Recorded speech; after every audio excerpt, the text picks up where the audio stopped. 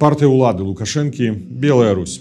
Гэта фактычна траянскі конь крамля які будзе выкарыстоўвацца супраць беларускай дзяржаўнасці. Не так давно міністэрства юстыцыі лукашэнкі зарэгістрыравала новую палітычную партыю якой па задуме стваральнікаў наканавана стаць у дзяржаве лукашэнкі партыяй улады. Гэта тое самае як у рассію единая Россия это партыя Путина гаворка у сітуацыі ў нашай краіне пра белую Русь якая была створана на аснове раней існуючага грамадскага аб'яднання. Давайте паглядзім на гэтую самую партыю бліжэй. З яе праграмай і кіраўніцтвам можна азнаёміцца на афіцыйным сайце. Заходзім на сайт і першае што кідаецца ў вочы у так званай партыі улады сайт толькі на рускай мове а беларускамоўная версія чамусьці адсутнічае. Можа гэта выпадковасць забыліся зрабіць ці ўсё ж не.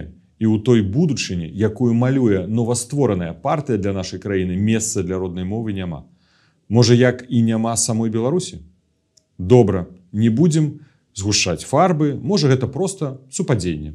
Глядзім далей. Сам сайт аформлены не ў любімых сэрцу я бацяк чырвона-зялёных танах а ў нейкіх чорна-жоўтых якія да болю нагадваюць так званую георгіўскую стужку або колеры чорна-жоўта-белага сцяга, які актыўна выкарыстоўваецца рускімі радыкальнымі нацыяналістамі накшталт Дмітрия Рагозіна, які нядаўна прыязджаў у мінск. Лагатып партыі таксама мае вельмі дзіўны выгляд. Але што мы прыдзіраемся? Гэта ўсё ну, справа густу, хтосьці скажа.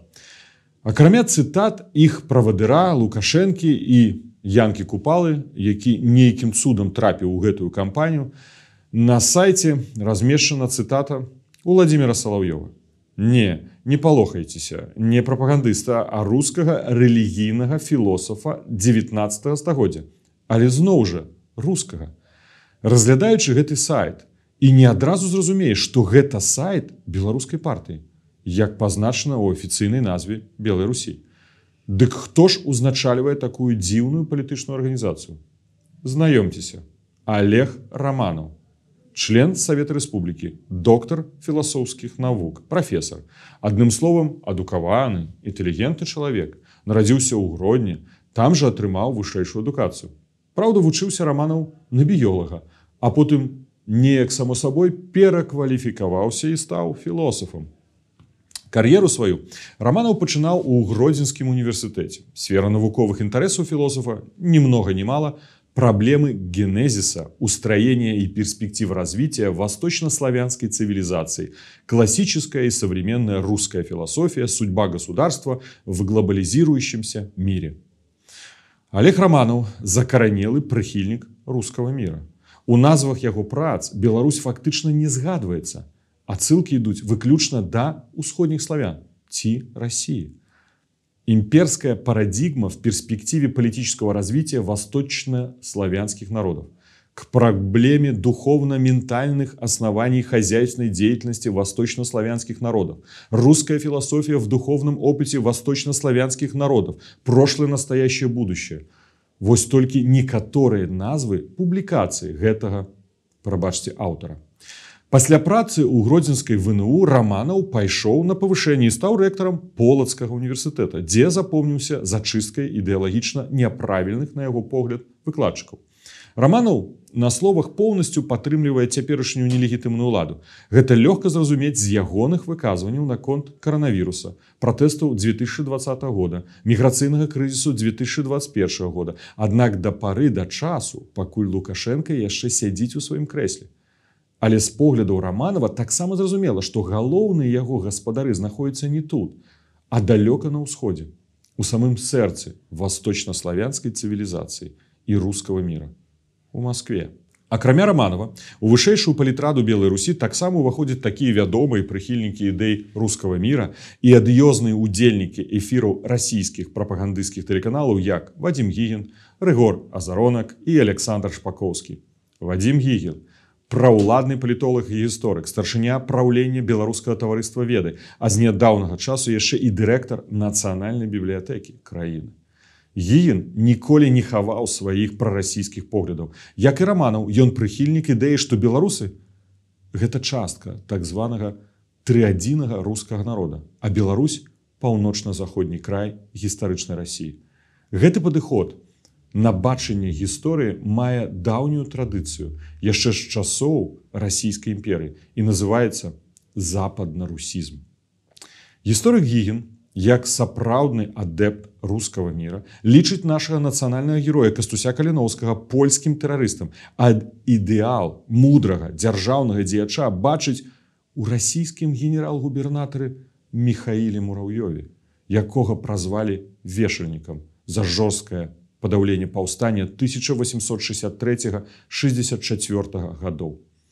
Прыблізна такі же падыход у гігіна і да сучаснай палітыкі. Ён усяляк усхваляе крамлёўскія ўлады і апраўдвае агрэсію рассіі супраць Україніны. Гігін падтрымлівае расійскія наратывы не толькі на словах, але і на справе. Напрыклад, восенню 2022 прапагандыст ездзіў назіральнікам на рэферэндум у так званую луганскую народную рэспубліку. Рэферэндум у двукосі зразумела. Трэці персанаж увогуле выклікае агіду дзякуючы сваім неадэкватным і хамска-істэрычным выказванням. Гэта рыгор азаронак. Чалавек, які за апошнія тры гады стаў сімвалам самай бруднай і адвязнай лукашэнкаўскай прапаганды. Азаронак, прадстаўнік цэлай дынастыі прапагандыстаў. Ягоны бацька Юрый праславіўся дзякуючы прапагандысцкаму фільму Ненавість дзеці лжы.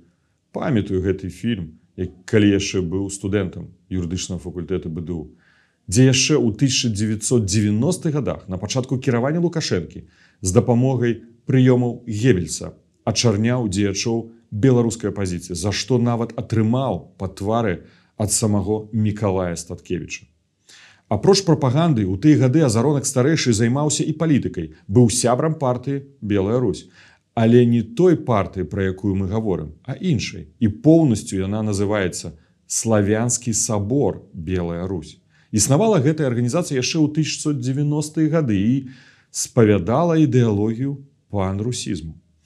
Няцяжка зразумець, што яблычык ад яблынькі далёка не коціцца. Так і грыша увабраў у сябе вельмі спецыфічныя палітычныя погляды бацькі. Усё заходняе, нярускае, зрэшты, як і беларускае чужое рыгору.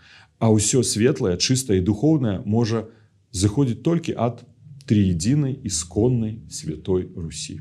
Чацвёрты дзеяч Александр Шпаковскі, які ў мінулым лічыў сябе беларускім нацыяналістам ці нават нацыстам, зараз прапагандуе той жа нацызм толькі ўжо пад расійскім імперскім сцягам. У прыватнасці ён разам з яшчэ адным сябрам палітрады белай Русі галоўным БРСМаўцам Александром Лук'янавым ездзіў у лагер Дубрава і прамываў розумы украінскіх дзяцей пра расійскай прапагандай. Вось такія цікавыя персонажы аб'ядналіся ў кіраўніцтве партыі ўлады створанай лукашенко Такім чынам калі прыглядзецца бліжэй становіцца зразумела што лукашэнкаўская партыя белая Русь становіцца хутчэй проекта Москвы чым палітычнай апоры улады для састарэлага дыктатара. Таму як толькі надыдзе момант і рэальная ўлада нелегітымнага пачне ператварацца ў пыл яе павінны падхапіць гэтыя ускормленыя на расійскія грошы дзечы задачы гэтых людзей па-першае забраць уладу лукашэнкі по-другое не дапусціць каб яна вярнулася да народа. А па-трэцяе падрыхтаваць паглынанне беларусі Росіі і ўсе так званыя шараговыя чальцы партыі белая Русь павінны здаваць сабе справу што яны фактычна будуць удзельнічаць у злачынстве супраць беларускага народа. Майце гэта на увазе